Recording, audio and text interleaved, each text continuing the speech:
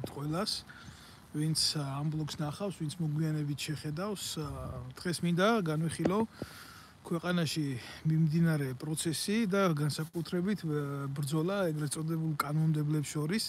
რა მარტივია თურმე რომ ერთმანეთს ასე საჯაროდ დაუპირისპირდე და გაუსწორდე რა.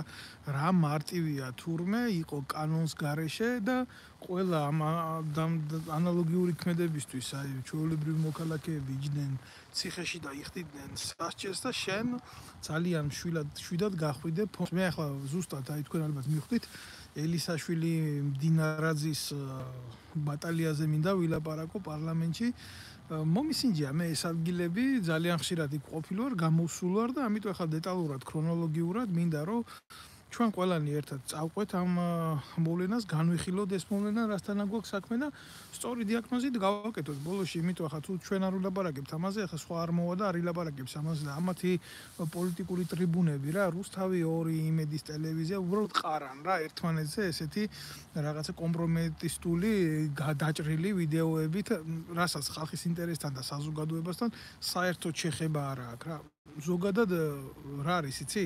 წესიერ ქვეყანაში დაისმენბოდა შეკითხვა. აი წესიერ განვითარებულ საზოგადოებაში.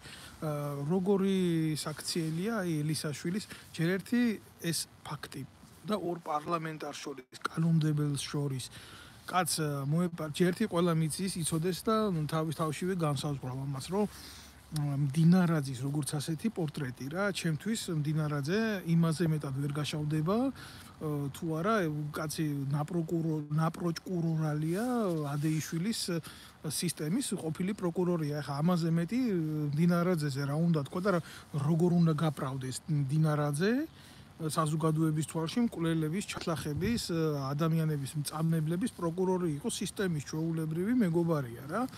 თან თავისთავად ნუ ახლა ქართული ოცნების მონა და ერთი ტრაკის მიმცემიროა ამას ახლა ლაპარაკი არ უნდა და მიმინდა აგერ გასაგონად თქვა რა როგორ უნდა მოხდეს დინარაძის გათეთრება მე არ ვიცი მაგრამ ეს იმას კი არ ნიშნავს რომ მაგალითად მივესალმო პარლამენტში ესეც უბედურებას ნუ კაცი გვერდიდან წაეპარა თავში ხელი დაარტყა და ეს ნორმალურია და აქედან უნდა გამოვიდეთ და უნდა ტაში დაუგრათ ყველაფერ ამას. ესაა ყველაზე დიდი მარაზმი რაც შეიძლება ხელისუფლება ხელისუფლების მხრიდან და ოპოზიციის მხრიდან ხდებოდეს რა.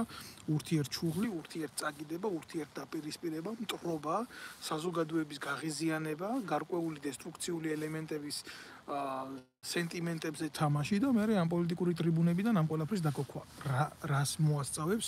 ეს ყველაფერი რატო გჭირდება? ამ ყველაფერზე ლაპარაკი და სადამდე მიგვიყვანს ეს ყველაფერი ხა დეტალურად განვიხილავ მაგას. მე რა პირველ რიგში ის რომ თვითონ ელისაშვილი მოყვეთ აქედან ვინ შეიყვანა პარლამენტში ვინ მისცა მას ავტორიზაცია რომ იყოლოდათ ხო? თუ არა ბიძინა ივანიშვილი ბიძინა ივანიშვილს ეს ჭირდებოდა კაცი პარლამენტში კი არა პარლამენტის კარებთანაც ვერ მიხვალ თუ ქართული ოცნების უშიშროებას ეს ასწროს მნიშვნელობა არ აქვს შენ ოპოზიციაში იქნები ნაცმოძრაობაში იქნები თუ ვიში არ იქნები რა. ამას არსებითი მნიშვნელობა არ აქვს რა. ეს ყველაფერი უნდა იყოს შეთანხმებული ძალიან კარგად გავლილი და ქმული უშიშროებასთან და უშიშროება უნდა მოქცეს კარს მიღმა ავტორიზაცია. ახლა რომელიმე თქვენგანს მართლა გონია რომ ჩაულებრივი მოვლენაა ეს და იმაში შეხვალ რა ქვია პარლამენტში შეხვალ და სადმე დაჯდები და პარლამენტარიზი გახდები და ასე შემდეგ. ვერაფერსაც ვერ ვერ მიაღწევ თუ ეს არ უნდა უშიშროებას აი უშიშროებას შევთანხმდით იმაზე რომ ჭირდებოდა ელისაშვილის პორტრეტი რა ჭირდებოდა თავიდან ბოლომდე და მარა თუ მარტო ჭირდებოდა. აი ეს კოლაბორაციონიზმში მყოფი ნაძირალა ქართული ოცნების აი ეს ელისაშვილი მაგან თავისი პარტიული მემკვიდრე აი თავისი ჩვეულებრივი ამ სისტემის შვილი იოსელიანი სახალხო დამცველად დაანიშნია ქართულ ოცნებას და იქვე მიუსვა მისი დიშვილი იქვე სახალხო დამცველის მოადგილე გახადა მეორე დღეს მისი დიშვილი. აი ესეთი კაცი ახლა როგორ უნდა წარმოიდგინე რომ ქართულ ოცნებას უპირისპირდება და მით უმეტეს ესეთი ბრუტალური მეთოდი, ესა დადგმული კონცერტები რა. მაგრამ არსებობს რაღაც ადამიანური ზღვარი და ადამიანური მორალი, რითაც ვერანაირ შემთხვევაში ვერ მიას ვერ მიესალმები ამ სისაძაგლეს, ეს არის სისაძაგლე, ჯერ რამდენი ადამიანი უყურებს ამას და რამდენი ინვალიდია, რამდენი პატიმარია, რამდენი უქმედით უნაროა უნაროა და ფიქრობს რა რომ ეს ადამიანი რამდენი სოციალურად დაუცველია რა და ფიქრობს ესენი უნდა იყვნენ ჩვენი პატრონები, ამათმა უნდა შეძლონ ქვეყანაში სოციალური უბედურების დამარცხება, ამათმა უნდა გაიყვანონ საზოგადოება გამარჯვებაზე. პარლამენტის ტრიბუნასთან კაცი ეპარება და თავში ურტყამს გვერდიდან ხელს რა.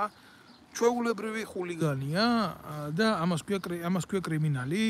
როცა ესეთი რაღაცა ხდება, ნუ ქართული ოცნებიდან რა ხდება, კიდე ეს ცალკე თემაა, განჩის, მაგრამ ამან რა გააკეთა? ამან რა გააკეთა? ამან ფაქტიურად მასას თელ საზოგადოებას მისცა ძალადობისკენ ჩვეულებრივი წახალისება და უთხრა რა აი ჩვეულებრივი პონტია თქვენ შეგიძლია ასე იმოქმედო და მე მაგალითად მე დაუჯელი ვრჩები რა და პროკურატურა იმის მაგივრად რომ სისხლის სამართლის საქმეს იწყებდეს და ითხოვდეს ამაზე სანქცია სამართლებს ყველა დუმს აქცია მიდის არა რუსულ კანონს არა ასე ისე ასე ასე ისე ისე ზოგადად ქართულ ოცნებას და მის კანონს რაც შეეხება, მაგას მე ვილაპარაკე და კიდე ვილაპარაკებ პლატონს აქვს რა ანტიკურ საბერძნეთში გამონათქვა მე რომ რა შევქვათ მინდა კანონი თუ ხელისუფლებაში დაძირლები მყავანო რა. ხო და ხო ზუსტად ასე არის დღესაც განსხვავება არ არის მიუხედავად იმისა რომ ჩვენ ჩვენი ეპოქას ანტიკური არ ეწოდება და 2024 წელია. მე რა აქ ხალხი არ შეცვლილა და ნაძირლები და მამაზაღლები იმ დროშიც იყვნენ და ამ დროშიც არიან. ესე იგი ამაზე შევთანხმდით რა. ეხლა რა შეიძლება თვითონ რუსულ კანონს და რუსულ მიდგომას. მე მინდა კიდე ელისაშვილს ვკითხო. აი მისი თანაპარტიელი იოსელიანი რო სახალხო დამცველად დასვა იქ, სადაც დასვა რა პლატფორმაზე და მისი დიშვილი რო მიუსვა გვერდზე, აი ეს პატრა ლაწირაკი გოგო, აქედან მინდა ელისაშვილს ვკითხო. რომელი ის არის მაგალითად ფორმა არის ეს ევროპული? მე აგერ ევროპაში ვცხოვრობ უკვე წლებია და მათ შორის მე პოლიტიკური დიანული სტატუსი მაქვს და ძალიან კარგად ვიცი ეს პროცესები რასაც ნიშნავს რა იყო აგრესიული გამოავლინო აგრესია კონდეს აგრესიული დამოკიდებულება და შემდეგ. და მით უმეტეს ნეპოტური დამოკიდებულება მე მე თქვენ გარწმუნებთ რომ არც ერთ ევროპულ ქვეყანაში არათუ საფრანგეთში ასეთ კრიმინალს როგორი ჩაიდინა ილისაშვილმა ქართულ ოცნებასთან გარიგებით კიდე ერთხელ ამბობ გარიგებით და თავისი დიშვილი შეტენა იქ მისი მეგობრის ოფისში საზოგადოების არც ერთი სახელმწიფო ამას არ აპატიებდა. არც ერთი საზოგადოება ამას არ აპატიებდა და მე გეუბნებით რომ ეს არ არის ევროპული საქციელი, ეს არის ჩვეულებრივი საბჭოთა კავშირის რაიკომის მდივნის გადაწყვეტილება, რომელიც რაღაცა CKKPS-ის წარმომადგენელს თხოვდა იქ რომ აი საჩემი დიშვილი რომელიღაცა კანტორაში შემიყუჟეთ რა. ეს არის ელისაშვილის სახე. მე მაგის ნაბოზვარი დედას შევეცი აი ეს გადაეცით ჩემგან და თუ მაგარი ტრაკი ქონდა იქაც ვიყავი ქვეყანაში მაშინაც დედის მოტელს ვაგინები და ეხლა დედის ტრაკს ვაგინებ. როგორც ქართულ ოცნებას და როგორც მდინარაძის ჩემთვის ესენი არიან ერთი ერთი პოლუსი ერთი სიფტყია არანაირად ესენი განსხვავებული როჟები არა გულის ტკედას იწევს მხოლოდ ის რომ აი ამით ყველაფერი დიძირება ჩვენი საზოგადოება. კაი დაარტყა დაარტყა პარლამენტში სხვა ხელი მაგრამ რა რა მოხდა ამითი?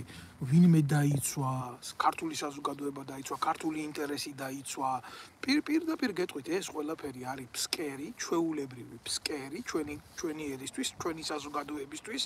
და მეტი არაფერი ეს არის კარგი მიწოდებული ნაბი ისა პასი ეგრეთ წოდებულა და ეფექტურჩი რომ გაუგორებენ ბურთს ქართული ოცნებისთვის.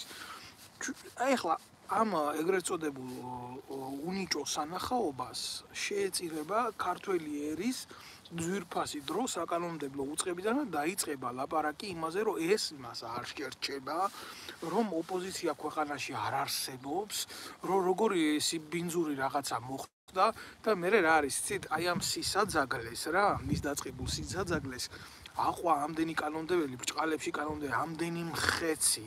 და ნაცვლად იმის საპარლამენტო ტრიბუნიდან მოდიოდეს მაგალითი.